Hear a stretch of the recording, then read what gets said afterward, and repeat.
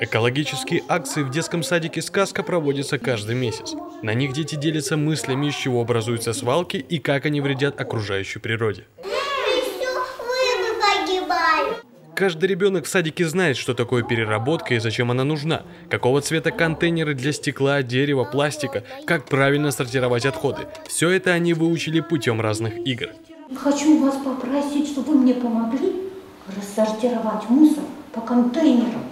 Также в каждой группе организован специальный уголок. Так на полках можно найти книжки, поделки детей, импровизированные контейнеры, куда ребята складывают мусор.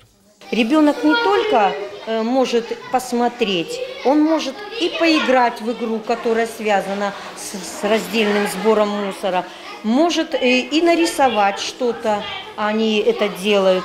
И совместно с воспитателем ведутся различные беседы, потому что не только это интересно детям, но и дети учат наших родителей. О раздельном сборе, переработке и каким образом экопросвещением можно заниматься с детьми руководство садика узнало в 2010 году. Тогда несколько образовательных учреждений заинтересовались финской программой под названием «Отходы, сортировка, переработка».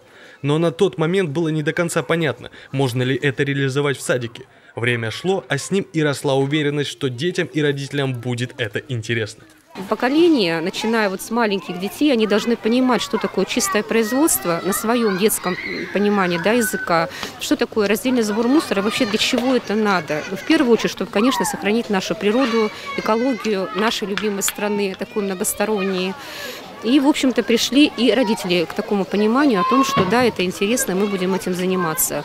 Экологическое просвещение в садике тесно связано с повседневной деятельностью воспитанников. По всей территории расставлены специальные контейнеры, куда дети вместе с родителями могут рассортировать мусор.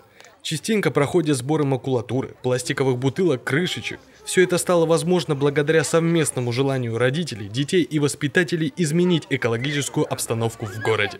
Марат Дожидаев, Сергей Беляев, Сампо ТВ 360.